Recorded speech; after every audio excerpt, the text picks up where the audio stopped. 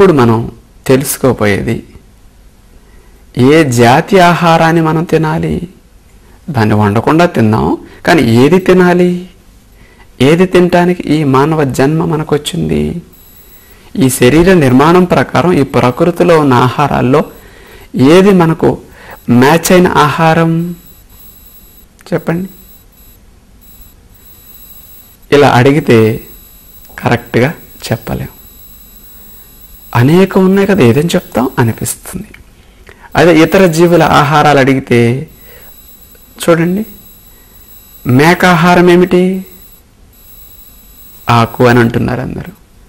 చిలక ఆహారం ఏమిటి? టక్కన మీ అందరికి వచ్చేస్తుంది పండ్లు అని. పులి ఆహారం ఏమిటి? మాంసము అని. పావుర ఆహారం ఏమిటి? గింజ. ఇప్పుడు చెప్పండి. మనిషి ఆహారం ఏమిటి? అందరూ ఆహాహా నోరు తెరుస్తారు నవ్వుతారు. ఏమండి? మేక ఏం తింటుందో మనకు తెలుస్తుంది. పులేం తింటుందో తెలుస్తుంది. ప్రపంచంలో ఎక్కడున్నా మేక ఆకే. ఇంకో బ్రాండ్ మార్చదే. ఏ యుగం మారినా ఆహారం మారదే. రోజు ఆకులు తిని బోరు కొట్టాయి నేను ఇక తినను. నాకు పండ్లు కావాలి అనదే మేక. మేకని ఆకు తినమని ఎవరు చెప్పారు? ఎక్కడ రాసింది? మేకలో రాసి ఉందా? ఆకులో రాసిందా ఇది మేక కొరకు డిజైన్ చేయబడిన ఆకు అని. కానీ ప్రపంచంలో ఉన్న మేకలన్నీ ఎక్కడున్నా ఒకే జాతి ఆకుల్ని తింటుంటాయి. కొన్ని మేకలు ఆకుల్ని కొన్ని రకాల వాటిని తినవు. అవి ఎక్కడున్నా అంతే. వాటి డిసిప్లైన్. ఇలా పట్టుపురుగు చూస్తే మల్బరీ ఆకు తింటుందట. జీవితాంతం మల్బరీ ఆకు. ఆ మల్బరీ ఆకు దొరక్కపోతే పట్టుపురుగు మరణిస్తుంది కానీ ఇంకో ఆకు జోలికి వెళ్ళదు. ఇలా ప్రతి జీవికి ఒక డిసిప్లైన్ ఉన్నది. ఆ జీవి అవసరాలు తీరటానికి ఆ నిర్దిష్టమైన ఆహారం ఏదో నిర్మాణంలో ఉంది. ఆ ఆహారం ఎక్కడుందో వెతుక్కుంటూ దాన్ని తింటూ బ్రతుకుతుంది. ఇలా ప్రతి జీవికి తన నిర్మాణానికి అనుకూలంగా మ్యాచింగ్ ఆహారం అందించే ఏర్పాటు ఉన్నది. దాన్ని అందిస్తున్నాయి సుఖంగా జీవిస్తున్నాయి. మన శరీరానికి కూడా ఇలా మ్యాచింగ్ ఆహారం ఏది? మనకి మ్యాచింగ్ అంటే బాగా గుర్తుంటుంది. బట్టలు వేసుకుంటాం. వేసుకునేటప్పుడు అన్నీ మ్యాచింగ్ చూసుకుంటాం. ఎందుకంటే చాలా అందంగా ఉంటాం. ఇక పురుషుల కంటే స్త్రీలు మరింత శ్రద్ధ తీసుకుంటారు మ్యాచింగ్ అంటే. ఒక చీర కొంటే ఆ చెంగు తీసుకుని ఇలా ఇలా అని జాకెట్ మీద వేసి అనేక సార్లు చూసుకుమరీ కొనుక్కుంటారు. ఈ మధ్య ఇంకా అందంగా ఉండాలనే కాంక్ష పెరిగి ఈ వేసుకునే చీరకు కట్టే జాకెట్కు తగ్గట్లు మ్యాచింగ్ గాజు పోగు బొట్టు క్లిప్ అన్నీ మ్యాచింగ్ బాగా చూసుకుంటున్నాం. అలా వేసుకుంటే అందంగా ఉంటాం. తప్పులేదు మంచిది. వేసుకోవచ్చు. కానీ ఇక్కడ ఈ శరీరానికి కూడా ఒక మ్యాచింగ్ ఆహారం ఇస్తే అంత హాయిగా ఉంటుంది. అందుచేత ఈ ప్రకృతిలో మనం ఏ ఆహారాన్ని తినటానికి పుట్టామో దాన్ని తినగలిగితే ఈ శరీరం సుఖంగా జీవిస్తుంది. మన మ్యాచింగ్ ఆహారం ఏది అంటే ఈ ప్రకృతిలో పెద్ద జీవరాశులు తినే ఆహార జాతులు ప్రధానంగా ఆరున్నాయి. కూరగాయల జాతి ఆకు జాతి గింజ జాతి దుంప జాతి పండ్ల జాతి మాంస జాతి. ఈ ఆరు జాతుల ఆహారాలలో ఏ జాతి ఆహారాన్ని తినటానికి మనం పుట్టాం? మనది ఏది ఈ ఆరుటిల్లో? తెలియాలి. ఏది? మీకు తెలుసా? అన్నీ అంటారు. ఇప్పుడు మేక ఉంది కనపడ్డ వాటన్నిటినీ తినలేదే. ఒక ఆకును పట్టుకుంది. మిగతా వాటిని వదిలేసింది.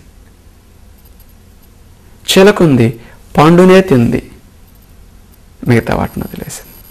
పావురై గింజ తింది. మిగతా వాటిని వదిలేసింది. పులి ఉన్నది. మాంసాన్ని తింది. మిగతా వాటన్నిటిని తను వదిలేసింది. తనకు కావలసింది ఒకటిగా ఇట్లా నిర్ధారణ అవుతున్నది ప్రకృతులు.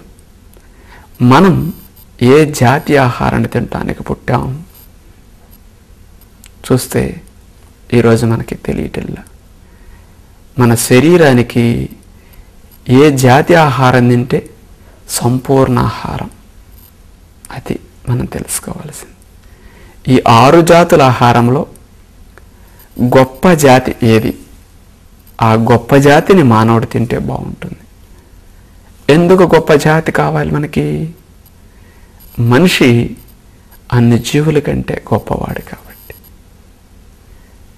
మనకు ఆ గొప్ప జాతి ఆహారం తింటే బాగుంటుంది కాబట్టి.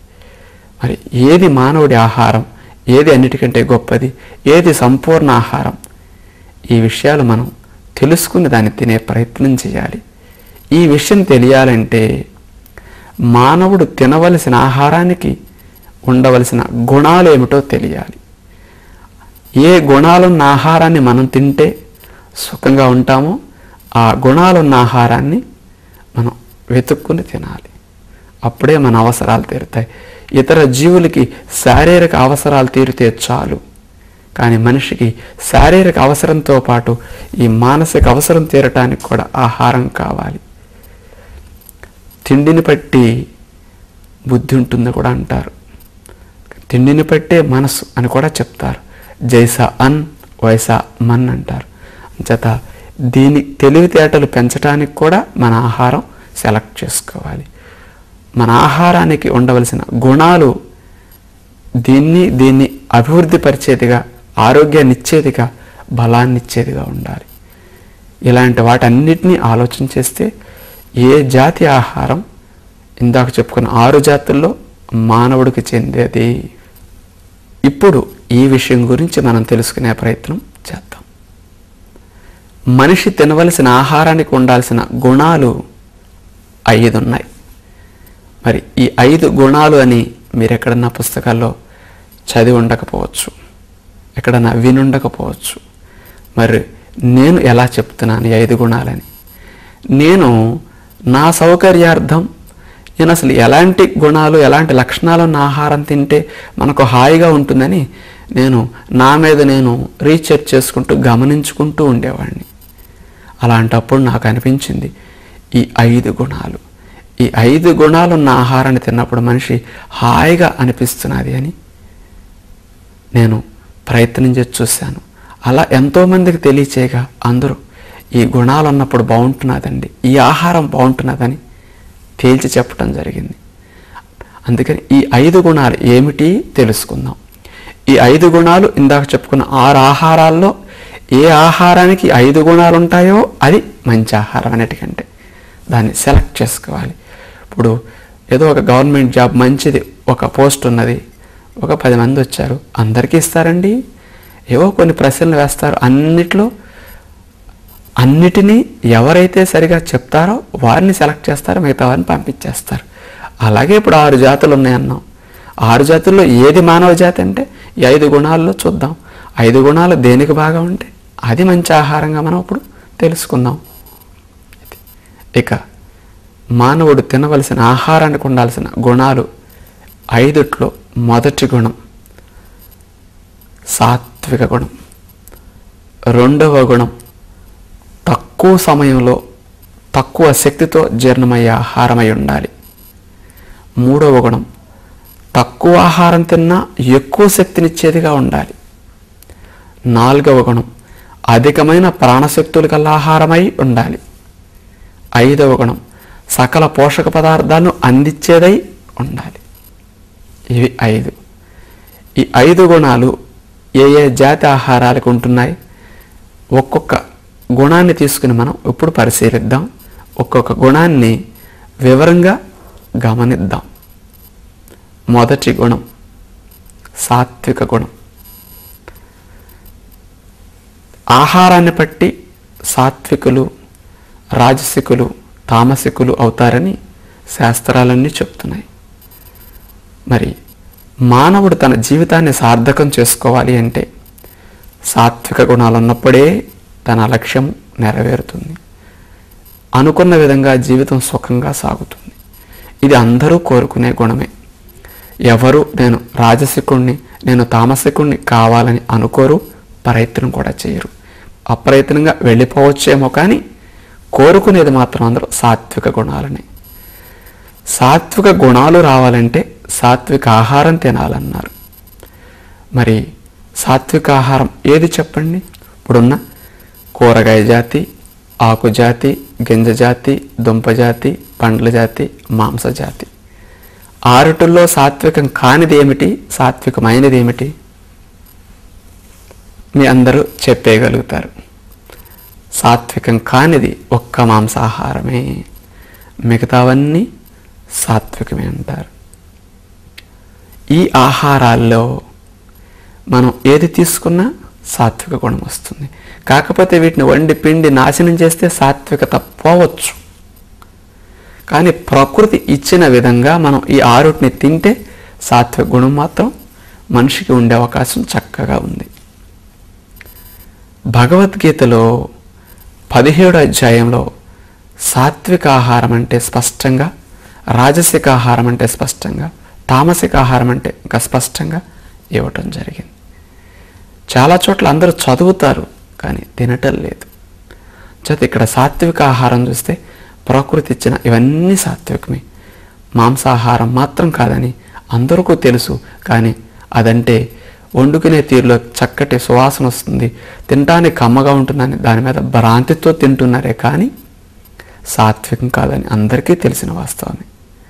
చేత మొదటి గుణంలో ఒక్క మాంసాహారం ఫెయిల్ అయిపోయింది. మిగతావన్నీ పాస్ అయ్యాయి మరి మనిషి మాంసాహారం తినకూడదు. మనం మంచి జీవితాన్ని సాధించాలి. ఈ మనసు ఇంద్రియాలన్నింటినీ కంట్రోల్లో పెట్టుకుని బ్రతకాలి. ఏదో కేవలం శరీరంతోనే జీవించవచ్చు శరీరం ఒకటే నాకు మొద్దుగా పనిచేస్తే చాలు అనుకుంటే ఏదైనా తినచ్చు. కానీ మనసు ఇంద్రియాలు కూడా నేను చెప్పినట్లుగా అనుకున్నట్లుగా జీవితాన్ని సాగించాలి అంటే సాత్వికాన్ని తినాలి. మాంసాహారాన్ని పూర్తిగా త్యజించాలి. మాంసాహారం మనిషికి ఎందుకు తగదు? ఏ జాతి మనిషికి మాంసాహారం తినటానికి నిర్మాణం రాలేదు? అంటానికి మనం ప్రత్యేకించి మాంసాహారం గురించి ఇంకో అంశం చెప్పుకుంటాం. అక్కడ మాంసాహారాన్ని మానవుడు ఎందుకు తినకూడదో అర్థమవుతుంది. ఇప్పుడు ఆ అంశం వివరణగా వెళ్ళటం లేదు. చేత మొదటి గుణంలో ఒక్క మాంసాహారం ఫెయిల్ అయింది.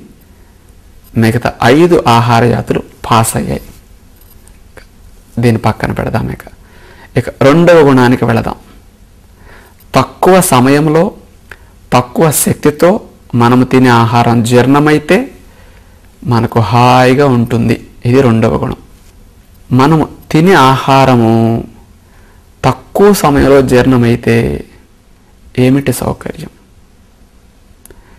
చూడండి మన పొట్టలో జీర్ణక్రియ ఎంత తక్కువ టైంలో జరిగితే మనకు అంత ఎక్కువ సౌకర్యంగా ఉంటుంది. జీర్ణక్రియ ఎంత ఎక్కువ సమయం జరుగుతూ ఉంటే అంత అసౌకర్యం అనిపిస్తూ ఉంటుంది. అందుకని తిన్నది త్వరగా అరిగిపోతే హాయిగా ఉంటుంది. మత్తు ఉండదు. ఉదాహరణకి ఇన్ని పండ్లు తినండి. తినకముందు మీరు ఎంత హాయిగా ఉన్నారో తిన్న తర్వాత కూడా అంతే హాయిగా ఉంటారు. ఇన్ని పచ్చి కూరగాయలు తినండి అలానే ఉంటుంది. అవి చకచక గంటన్నరలోనే అరిగిపోతాయి. ఎందుకు? అవి ఆల్రెడీ సూర్యుడు వండిన ఆహారాలు. ఎంజైమ్స్ విటమిన్స్ మినరల్స్ రెడీగా ఉన్నాయి. జీర్ణక్రియకి కావలసినవి. చకచక అయిపోతుంది. ఇన్ని పెసలో రాగులు సజ్జలో మొలక్కట్టి తినండి. రెండు మూడు గంటలు అరిగిపోతాయి. తినక ముందు ఉన్న హాయి తిన్న తర్వాత కూడా పోదు. ఇక ఇంత పిండిని రుబ్బి నాలుగు ఇడ్లీలు వేసుకోండి. ఇంతకు ముందు తిన్న ఆహారాలు ఉన్నంత లైట్గా మీకు అనిపిస్తుందా? మనం ఇడ్లీ అంటే అన్ని టిఫిన్ల కంటే మంచి టిఫిన్ అనుకుంటున్నాం. కానీ ఇంతకుముందు గింజలు పండ్లు ఇచ్చిన సౌకర్యాన్ని ఇడ్లీ ఇవ్వగలుగుతాయా? అంటే సుమారుగా ఒక పావల వంతు మత్తునిస్తాయి. కొంచెం బరువుగా అనిపిస్తుంది లైట్గా. అదే పిండిని నాలుగు ఇడ్లీలుగా వేసుకోవటం బదులు నాలుగు దోశలుగా వేయండి. నాలుగు ఇడ్లీలు అరగటానికి మూడు గంటల సమయం పడితే నాలుగు దోశలు అరగటానికి నాలుగు నాలుగున్నర గంటలు పడతాయి. చూడండి ఇడ్లీ తిన్నప్పుడు ఉన్న సుఖం దోశ తిన్నప్పుడు మీకు ఉంటుందా పొట్టలో బరువు కానీ మానసికంగా మత్తు కానీ ఇడ్లీకి పాతిక శాతం ఉంటే దోశకి నలభై శాతం దాకా పెరిగిపోతుంది సుమారుగా. ఇంకా బద్ధకంగా అనిపిస్తుంది. నాలుగు దోశలు తినే బదులుగా నాలుగైదు పూరీలు తినండి. ఇంకా జీర్ణక్రియ ఎక్కువ టైం పడుతుంది. ఇంకా మత్తు పెరుగుతుంది. ఇంకా అసౌకర్యం పెరుగుతుంది. ఇంకా అరగడానికి ఎక్కువ సమయం పట్టే పలావులు నాన్ వెజిటేరియన్ లాంటివి తినండి. మీకెంత ఇబ్బందిగా అనిపిస్తుందో. చూడండి ఏ ఆహారం అయితే జీర్ణకోశంలో అరగటానికి ఎక్కువ సమయాన్ని తీసుకుంటుందో అది మనిషి యొక్క మానసిక స్థితిని దెబ్బ కొడుతున్నది.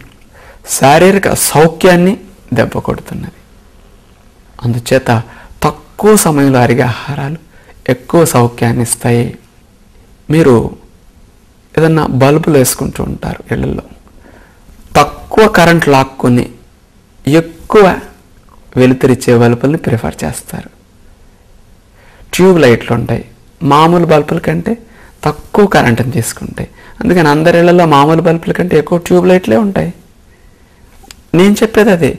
మీ శరీరంలో ఆహారం అరగటానికి తక్కువ ఎనర్జీతో అరిగే ఆహారాలు అయితే మీ ఎనర్జీ లెవెల్ ఎక్కువ వేస్ట్ కాదు.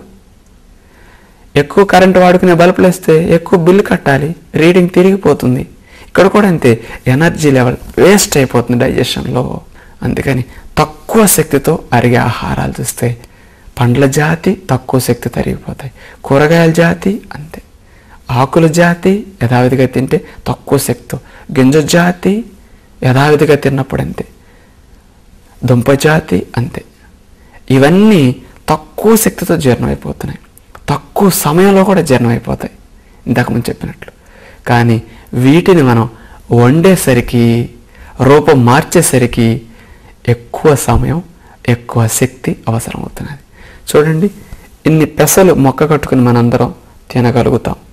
ఇన్ని పెసల్ని తింటే జీర్ణక్రియ అవడానికి రెండు గంటలు చాలు.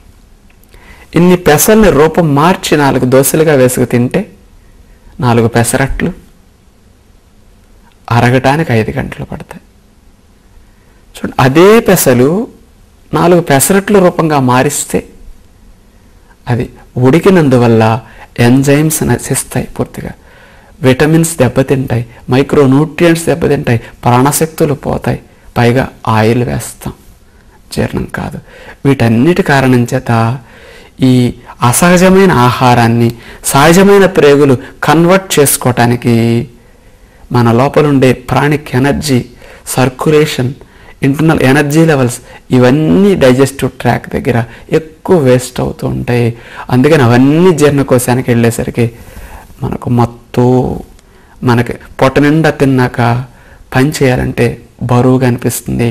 బద్ధకంగా ఉంటుంది. అది ఎలాంటిది అనేది ఒక ఉదాహరణ ద్వారా చూద్దాం. అందరిళ్ళలో స్త్రీలు ఉదయం పూట చకచక బాగా పని చేసుకుంటూ ఉంటారు. కొంతమంది తొమ్మిదిన్నర పదైన టిఫిన్ చేయరు. నాబోటి వారు ఎవరన్నా వారి ఇంటికి వెళ్ళినప్పుడు ఏమండి ఇంకా మీరు టిఫిన్ తినలేదా? అంటే మేము తినలేదండి అంటారు ఆడవారు. ఏమండి టిఫిన్ తిని పెందలకాడే పని చేసుకోవచ్చు కదండి? అంటే ఆ స్త్రీలు అంటారు ఏమండి మేము టిఫిన్ తింటే పని చేయలేమండి? అందుకని ఏకంగా పనంతా ఒకేసారి తినేస్తామండి అంటారు. ఎందుకు? మరి పొట్టలో టిఫిన్ పడటానికి చేతులతో కాళ్ళతో పని చేయటానికి ఈ మైండ్తో ఆలోచన చేయటానికి ఏమిటండి భేదం? ఇక్కడ ఫుడ్ పడేసరికి మన ఎనర్జీ లెవెల్ అంతా వెళ్ళిపోయేసరికి చేతులు కాళ్ళకి పని చేసుకోవడానికి ఎనర్జీ తగ్గుతుంది రక్త ప్రసరణ తగ్గుతుంది. అందుకని డల్ అవుతాం. అదే ఏమీ తినకుండా పనిచేసేసరికి ఈ జీర్ణకోశం ఉపయోగించుకోవట్లేదు కాబట్టి ఎనర్జీ లెవెల్స్ అన్నీ మనం చేసుకునే పనికి వచ్చి ఉపయోగపడతాయి. మనకు మంచి శక్తి పెరుగుతుంది. మన పొట్టలో పొద్దున్న నుంచి రాత్రి వరకు ఏదో ఒక ఆహారం అట్లా పడి ఉండి అరుగుతూ ఉన్నది అనుకోండి మీ ఎనర్జీలో సగభాగం అక్కడే వేస్ట్ అవుతుంది. అందుచేత మనం ఎప్పుడు హుషారుగా రోజంతా ఉద్యోగ వ్యాపారాన్ని బాగా చేయాలన్నా మనసు ఎప్పుడు ప్రశాంతంగా ఉండాలన్నా తక్కువ సమయంలో తక్కువ శక్తితో జీర్ణమయ్యే ఆహారాన్ని తింటే మనిషికి హాయిగా ఉంటుంది. ఈ రెండు గుణాలలో అనుకూలంగా ఉన్న చూస్తే కూరగాయలు ఆకులు గింజలు దుంపలు పండ్లు అన్నీ ప్రకృతి ఇచ్చింది ఇచ్చినట్లుగా మనం తింటే ఈ ధర్మం చక్కగా వాటిపైన వర్తిస్తున్నది. ఆ కోవకు చెందినవి ఐదు కూడా. అందుకని ఐదు పాస్ అయ్యాయి. ఈ రెండవ గుణంలో మాంసాహారాన్ని చూస్తే ఈ రెండవ గుణంలో పాసా ఫెయిలా. చెప్పండి. తక్కువ సమయంలో అరుగుతుందా? తక్కువ శక్తితో అరుగుతుందా మళ్ళీ? అరగదు.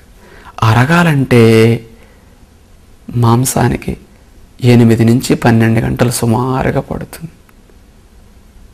తింటే బరువు మత్తు విపరీతంగా స్ట్రెయిన్ అవుతుంది సిస్టమ్ అంతా. దాన్ని మనకు కన్వర్ట్ చేయటానికి. అందుచేత ఇక్కడ మాంసాహారం కూడా ఫెయిలే కానీ మనిషి ఇలాంటి మాంసాహారాన్ని తినకూడదు. మొదటి గుణంలోనూ మాంసాహారం ఫెయిల్ అయింది. రెండవ గుణంలోనూ మాంసాహారం ఫెయిల్ అయింది. ఇక రెండు గేమ్లు ఓడిపోతే ఇక మూడో గేమ్కి అవకాశం ఇస్తారు ఎక్కడన్నా? ఏదో ఒక గేమ్ పోయినా ఛాన్స్ సెకండ్ టైం ఇస్తారు. అట్లాగే మాంసాహారం ఫెయిల్ అయిపోయింది. అసలు ప్రధానమైన కాన్సెప్ట్లోనే దెబ్బ కొట్టేస్తున్నది అది. మానసిక స్థితిని. అంచేత మనిషికి తగదు. అంటానికి ఇది ఆధారం. ఇక మనిషి తినవలసిన ఆహారానికి మొదటి రెండు గుణాల్లో ఐదు జాతుల ఆహారాలు పాస్ అయ్యాయి. ఇక మూడవ గుణం చూద్దాం.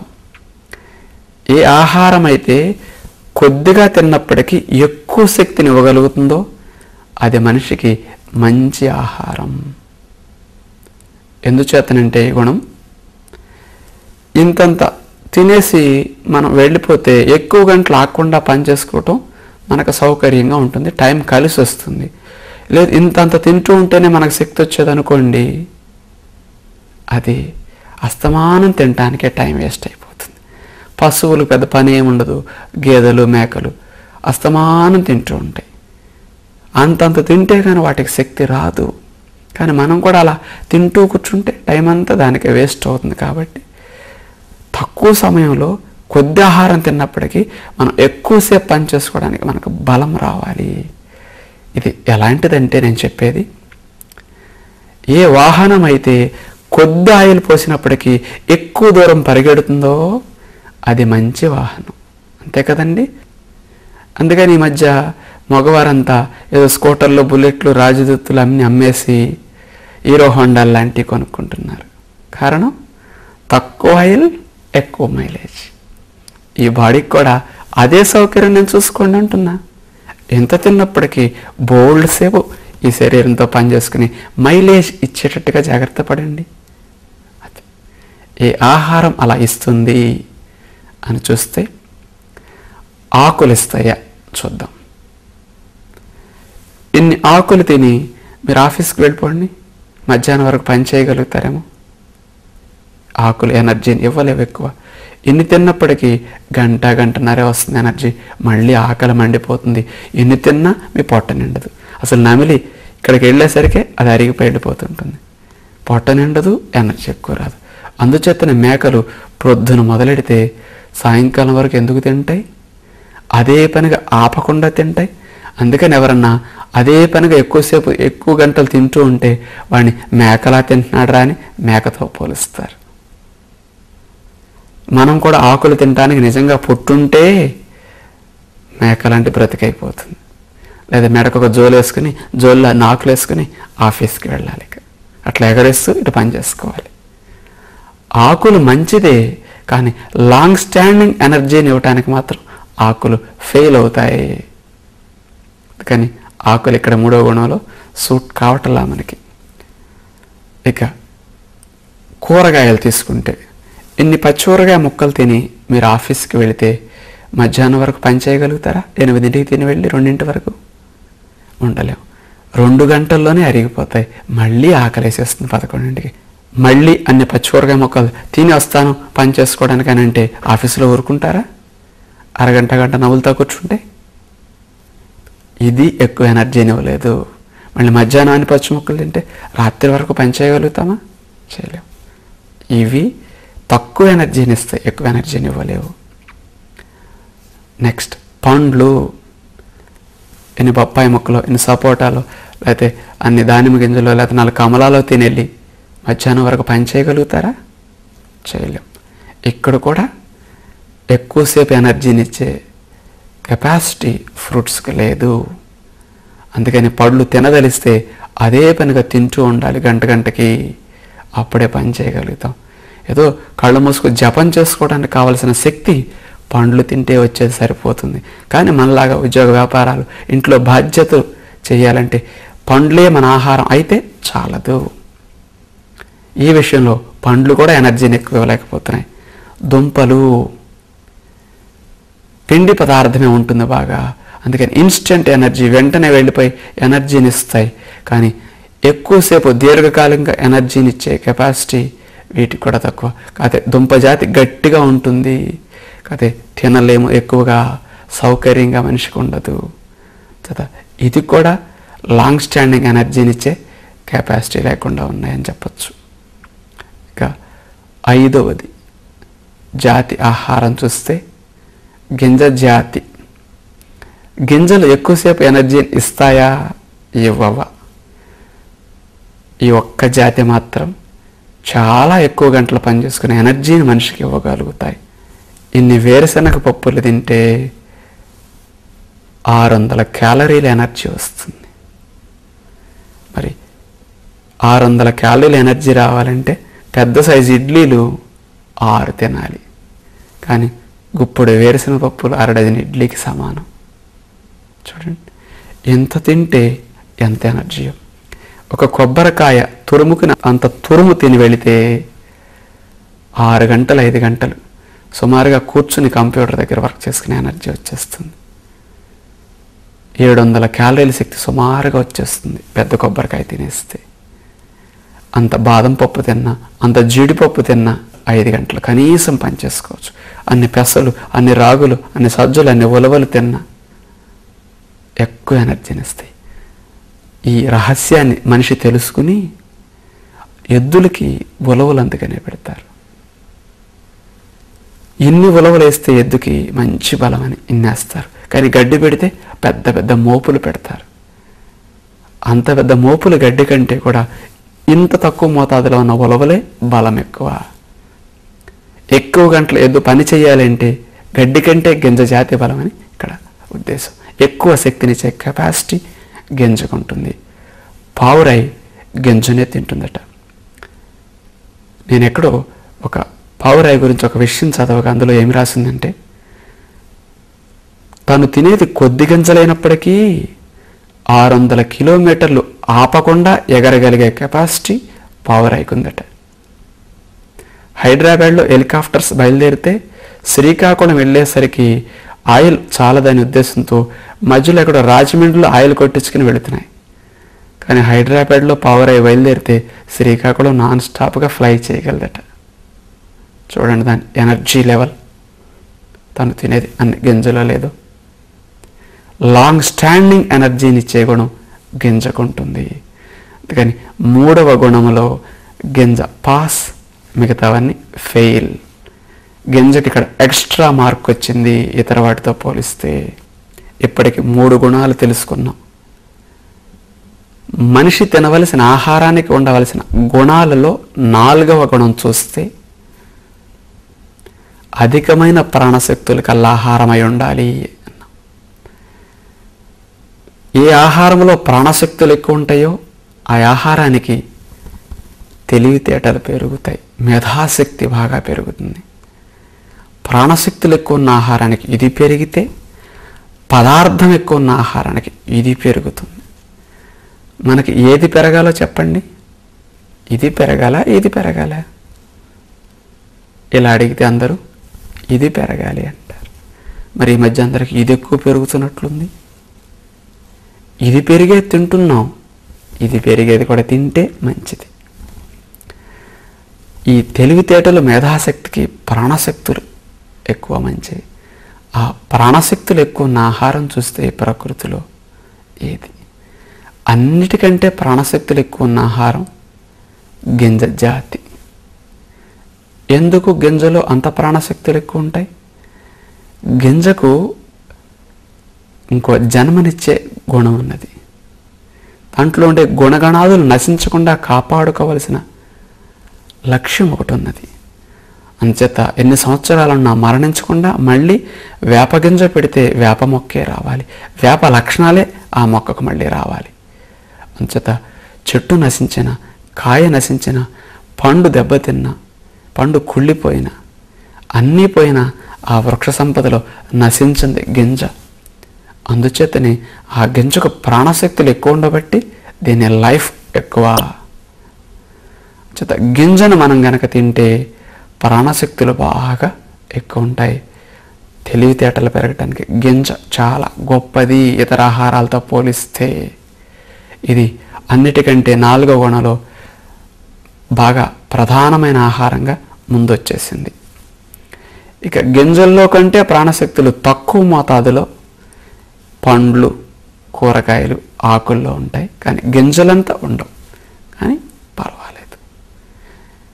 ఈ పండ్లు కూరగాయలు ఆకుల కంటే కూడా ఇంకా కొద్దిగా తక్కువ మోతాదులో ప్రాణశక్తులు దుంప జాతిలో ఉంటాయి.